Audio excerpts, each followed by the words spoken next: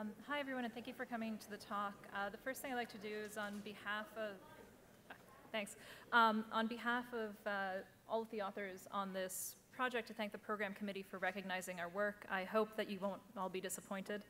Um, I will start with a disclaimer just to set expectations. This is absolutely not the story of how we did everything right, everything worked, and now we're all done. okay. Um, so if you're looking for the solution to the child welfare system, um, it's not provided here. I was really surprised when I first started working in this area at just how many individuals are affected by the child welfare system. Recent estimates uh, say that roughly 37.4% of children will experience a Child Protective Services investigation by the age of 18. And in 2016, the current estimates show that the Child Protective Services agencies across the country fielded 4.1 million referrals, which were associated to 7.4 million children, which resulted in investigations or alternative service responses for 3.5 million children, and this is just in one year. So far from being a very rare problem, this actually impacts a lot of families around the country. In Allegheny County, Pennsylvania, which is centered on uh, Pittsburgh, I'm a faculty member at Carnegie Mellon. This is how I got on this, um, on this collaboration. The child welfare referrals, so that the calls come in, um, are screened by call screeners who use information about the allegation, so this is what the reporter provides to them, along with information that they can query from an integrated data system that Allegheny County has established. And the call workers job is to determine based on this information whether a particular referral should be screened in, in other words, investigated, or screened out. The primary goal of the work that I'm presenting here is to make better use of the integrated data system. So what the system contains, this is pretty unique to Allegheny County, is information on essentially all public services use, such as county jail, juvenile probation, public welfare, behavioral health problems, child welfare history, um, and demographic information on all residents of the county. And while call workers have been able to query this system um, as part of their decision-making process all along, it's very difficult to make use of all of this information effectively, especially given the volume of calls that they screen. So the issue is really that there's too much information to very quickly process, and the purpose of this project was to try to distill some of this information into a relevant risk score that could then be provided as a source of decision support uh, for the call center workers. I'll now describe um, parts of what became the Allegheny Family Screening Tool. Again, this is a work in progress. Um, what the AFST is changes, and we're constantly revising um, what's going on, and we're getting ready for a new redeployment.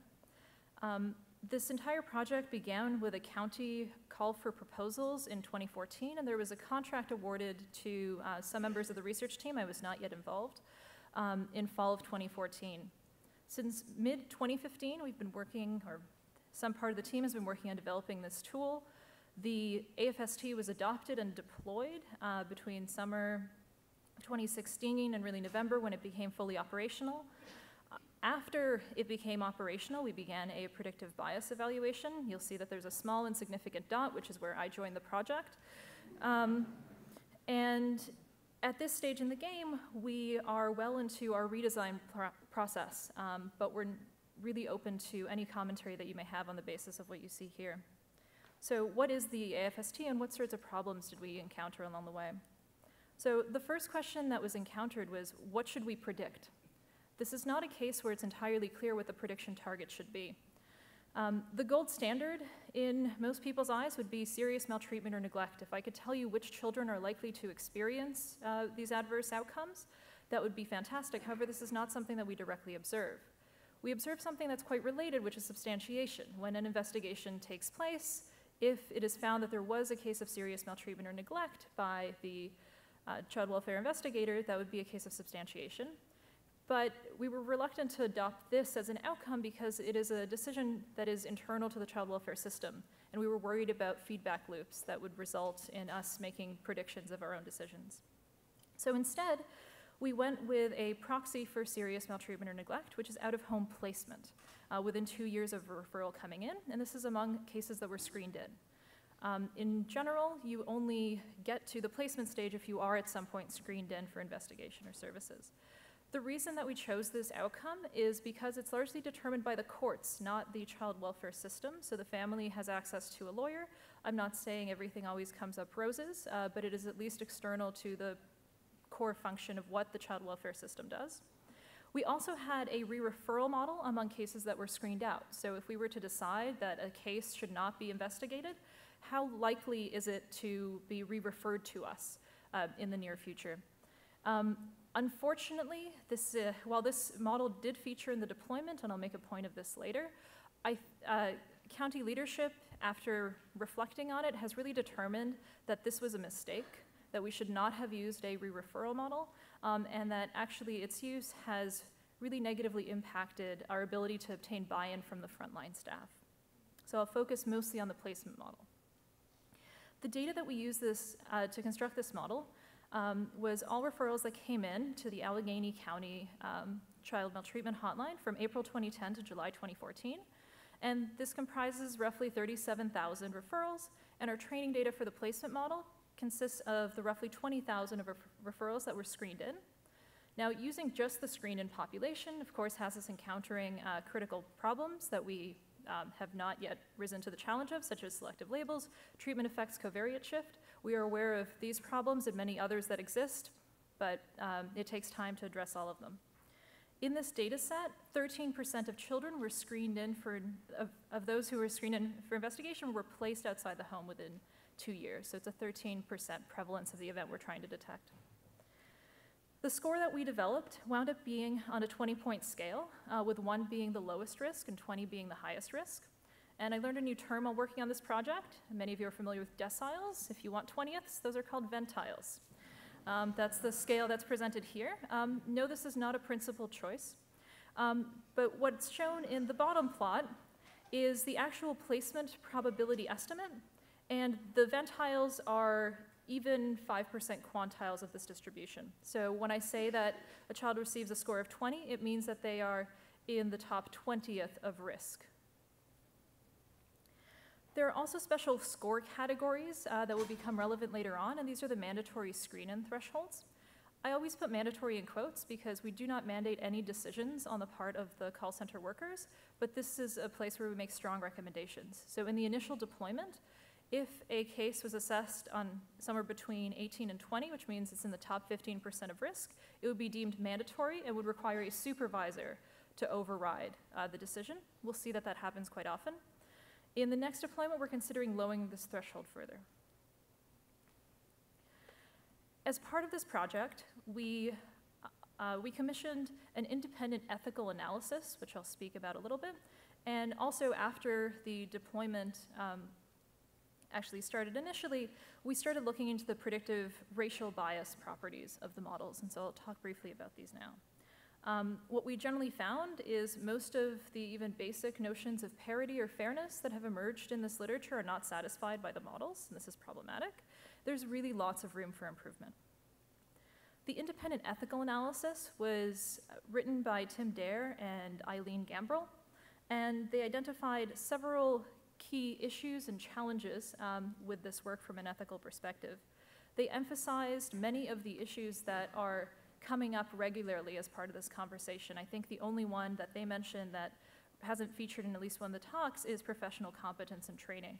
But consent, privacy, error rates, stigmatization, racial disparities, resource allocation, these are all things that we talk about regularly. In the end, they did conclude that the implementation of the tool is ethically appropriate, and in fact, that they believe there could be significant ethical issues in not making the best use of the data that we can. On the predictive bias side, we, it doesn't take very long for us to find properties where we start to see questionable behavior. So here's the AFST placement model, and what's being indicated by the height of the bars is the observed placement rate in each of the different categories. What we find in this case is not what you might think. Our model seems to overestimate risk for white children compared to black children, which is not the story you might expect. Uh, one way of seeing that is, for instance, a white child who receives a score of 20 on this 20 point scale is about as risky as a black child who receives a score of 18. We can also look at accuracy parity, which is a quality of uh, AUCs, and error rate balance. This is for the, again, AFST placement model. What we find is that the error rates are all over the place. We also find that we have much better predictive ability as indicated by the height of the ROC curve for certain groups compared to others. Interestingly though, the group for which we have the highest predictive ability is the unknown race group, which doesn't actually correspond in any meaningful way to a salient racial subgroup. And we don't have a very good explanation for why this is, though we have some hypotheses why we get this better predictive accuracy. We looked at other models. What can you pull off the shelf and will have the same issues as this original, um, should have said logistic regression with some variable selection model that underpins the original AFST. Uh, when you fit a random forest or most other models, you'll also find some calibration issues, as we see here, though you don't always find the same error rate and balance issues that we found with the original AFST placement model. Again, the tool was deployed before we conducted this analysis, otherwise we would have, of course, taken steps to try to better understand this and fix the issues. One point that I want to emphasize in this context is that false positive predictions, so when our model makes a false positive, do not necessarily correspond to false positive decisions. Um, one reason for this is that the decisions, uh, our model is just a decision support tool, but that starts to feel like a bit of a cop-out. The other reason is that we're predicting risk of placement. This is by far not the only consideration that we have when making screening decisions. It indicates risk for a bunch of other factors. We're really using it as a proxy. And just because a case doesn't result in placement doesn't mean it wasn't a good screen in. So it's actually very difficult to reason about what these uh, error metrics really tell us about the quality of our decisions. I'd like now to present some of the results from the initial deployment. Um, so the tool went into deployment in August 2016. Again, the predictive bias assessment followed. Um, and what we find is that there's some correspondence between the decisions that were made and the AFST score that was displayed, but the decisions seem to be largely pinned to call worker assessments, and I'll explain to you the evidence that we have for that. And again, just as with building the models, um, there's lots of room for improvement here. So what do the call workers see? What the call workers see is a page that looks like this, where there is a score indicated from 1 to 20 that appears on the right. Now, the score isn't just based on the placement model. As I mentioned, initially this deployment was based on also using a re-referral model, which is not something that we will continue to use going forward, because re-referral is not really something that's central um, in assessing whether a case merits investigation. So for instance, the way that this score of 16 could have come about is the case could have received a placement score of 10, which is some, we do want to continue working on the placement model, a re-referral score of 16, and thus the call worker would see 16. Here's a chart of what the screening decisions look like uh, during deployment. Um, what I've shown on the x-axis is the actual placement score, but from what I've explained, you can interpret this as a lower bound on what the call worker actually sees. So if the placement score was higher than the re-referral score, they would have seen exactly what's indicated on the x-axis. Otherwise, they would have seen a higher score, which would have been the referral score. There were cases for which the score is recorded as zero, which means that the score was unable to be assessed, and there are many reasons for why that is. Um, you can ignore the blue and red cases. Those are ones that are either have an unknown status or are already active.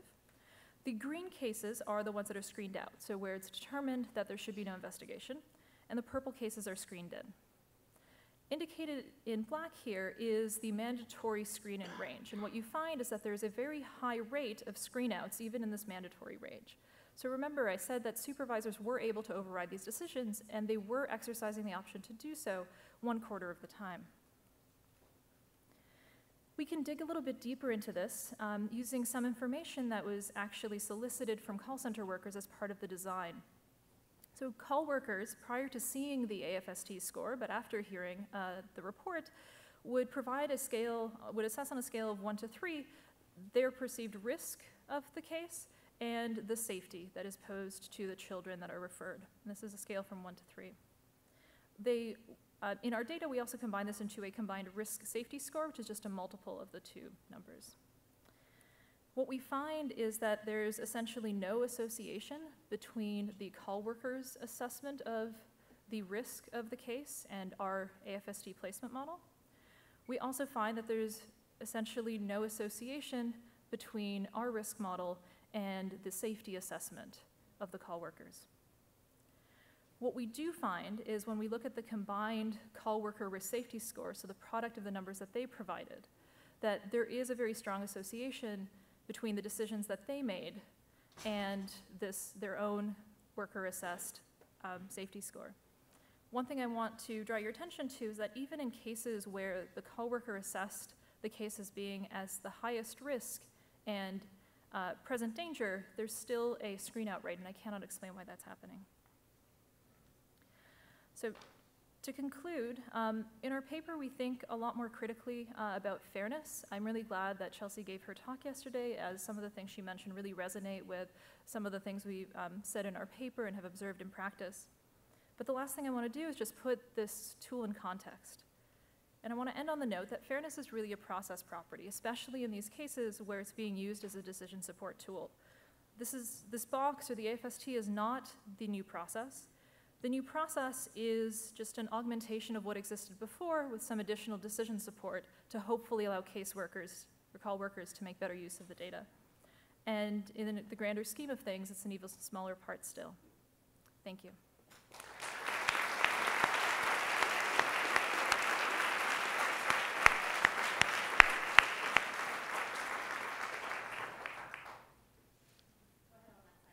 Hi, um, Cathy O'Neil. Um, I use this example all the time. Thank you for your bravery in coming to talk about it. Um, I would like to go bring us back to the very beginning, um, where you said you discarded the use of substantiation as a as a target variable. I just don't understand that. I mean, there are feedback loops everywhere. We're looking. Um, so, what particular feedback loop were you trying to avoid? So I wasn't personally involved in that decision, so my answer would be spec uh, speculative at best, and just based on some of the conversations that have followed. Uh, but it's our understanding from our child welfare collaborators that there is some indication of racial bias, for instance, at the substantiation or at the investigation decision point, and that's something that we really wouldn't want to introduce into our system. There's less evidence of that um, at placement. Again, this is my understanding, and there may be um, contravening evidence as well. Okay, and that, but isn't that the reason you discarded um, re recalling in Uh, referral. Ref- re-referral? We discarded re-referral because it wasn't deemed to be actually very useful for the screening decision, because the call workers aren't actually thinking of this as a question of will we be called back? There are many reasons for why re-referrals might happen, such as someone is upset at their neighbor or their daughter-in-law and things like that. Thank you. Yeah, thanks.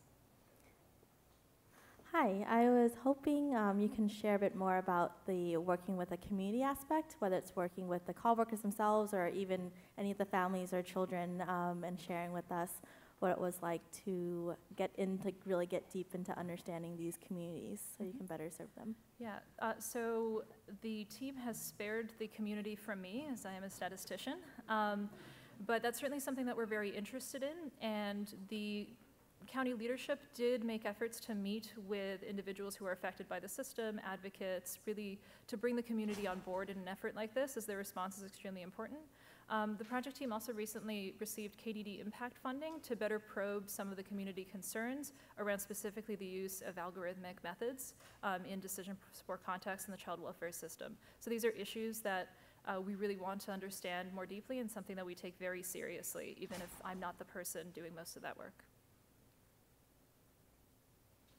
Hi, thanks very much. Um, I was wondering if there's empirical work about potential demographic disparities in terms of how these calls arrive um, in the system. You mentioned the selective labels problem and what you thought were uh, potentially promising avenues, or if perhaps the remedy lies more in kind of like community-based interventions or uh, investigating these community dynamics further. So there's definitely a rich literature that seems to indicate that African American children are much more likely to be uh, referred. Um, it's unclear in terms of the entire process, really, where these disparities um, come up and where they can't be accounted for by other explanatory factors. For instance, socioeconomic status tends to be a great equalizer um, in a lot of these things, but there's certainly a literature, and our, uh, our child maltreatment collaborators Um, have contributed to that work and are, of course, informing our efforts.